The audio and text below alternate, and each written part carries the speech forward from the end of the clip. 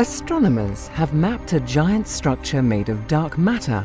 It extends almost 60 million light years out from a huge galaxy cluster and is our best glimpse so far of the scaffolding that gives the universe its large-scale structure.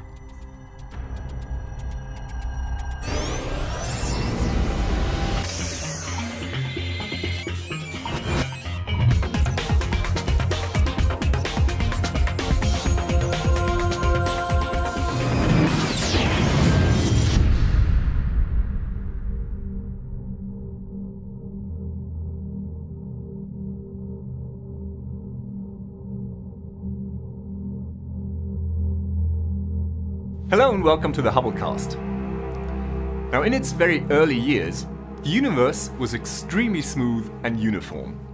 There were no stars and no galaxies, and all of the matter was distributed throughout the universe very, very evenly. Almost perfectly so. But not quite. Even back then, there were tiny variations in the density from place to place. And over time, these tiny fluctuations grew and condensed into a web-like pattern that pervades and gives structure to the universe of today. Formed of vast filaments and sheets of dark matter, this structure is known to astronomers as the cosmic web.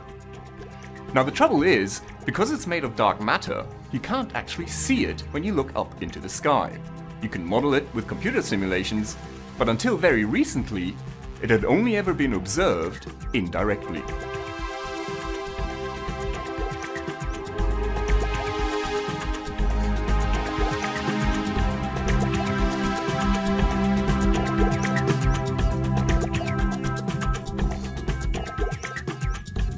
Scientists know that less than a quarter of the matter in the universe is actually visible, in the form of stars, nebulae, gas, and so on. The majority is dark matter, which cannot be seen directly. Astronomers have had compelling evidence for the cosmic web for years, thanks to galaxies clustering along it. But directly observing the dark matter web itself has been far more difficult. In fact, the very first successful observations of a filament of the web were only made earlier this year. Now, a team of scientists have used Hubble to take this a step further, making detailed observations of a dark matter filament, measuring its length, shape, and density. Finding one of these filaments is no easy task. First, you need to look where you're likely to find one. Theories say galaxy clusters form where filaments of the cosmic web meet with the filaments gradually funneling galaxies and dark matter into the clusters. So the team focused Hubble on the galaxy cluster MACS J0717, which is known to still be growing. And then you need Albert Einstein. As predicted by the theory of general relativity, a beam of light is bent as it passes near an object with a large mass. So, although you can't directly see a dark matter filament, its mass should nevertheless bend the light coming from galaxies behind it, subtly distorting their shapes.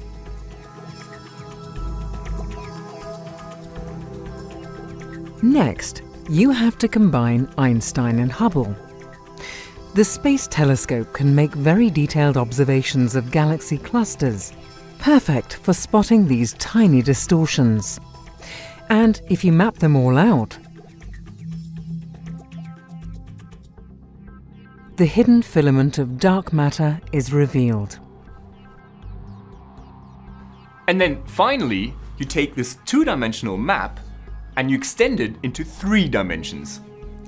The astronomers used data from the Keck 2 and Subaru telescopes in Hawaii, among others, to measure distances to the galaxies within the filament mapped out by Hubble and to trace their motions. They then used this information to make the first ever three-dimensional reconstruction of a dark matter filament and of how it is funneling matter into a massive cluster of galaxies. The filament extends across at least 60 million light-years of space. From our perspective, we see it gently curving towards us then continuing almost along our line of sight before it plunges into the back of the galaxy cluster. Measurements of hundreds of galaxies within the filament show them moving along the filament and into cluster MACS J0717. Observing and reconstructing the cosmic web is quite a big deal, because it tells us about the underlying structure of the cosmos. Now in the future, we'll be seeing more research like this. The NASA ESA CSA James Webb Space Telescope, scheduled to be launched later this decade, will be an excellent tool for studying the cosmic web because of its greatly improved sensitivity compared to Hubble.